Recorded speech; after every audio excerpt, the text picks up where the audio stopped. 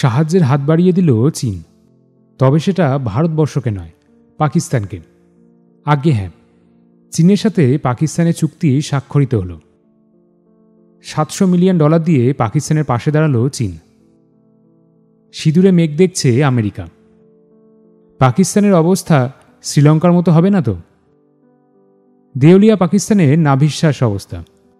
দেশের অর্থনৈতিক অবস্থার মান নিম্নগামী। বেসামাল হয়ে পড়েছে পরিস্থিতি, আর সেই পরিস্থিতি মোকাবিলায় ব্যর্থ পাক সরকার। এই মুহূর্তে প্রচুর অর্থে প্রয়োজন। বৈদেশিক ঋণের পরিমাণ গত মার্চ মাসে ছিল একশো আঠাশ বিলিয়ন মার্কিন ডলার। জিনিসপত্রের দাম আকাশ ছোঁয়া বললেও বোধহয় কম বলা হবে।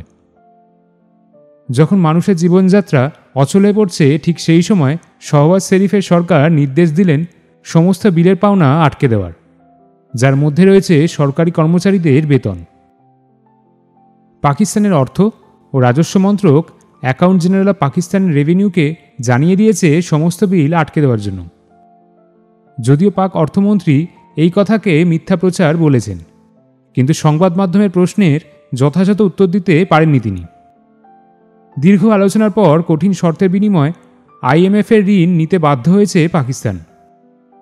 আন্তর্জাতিক সংস্থাটির শর্ত মেনে নতুন বিল পাশ হয়েছে পাক সংসদে। এই মুহূর্তে পাকিস্তানের কাছে আর কোনো উপায় নেই। তাই যে কোনো শর্তেই তাদের রাজি হতে হবে। কিন্তু তাতে কি সাধারণ মানুষের কোনো লাভ আছে? না। এই প্রশ্নটা আসাই স্বাভাবিক।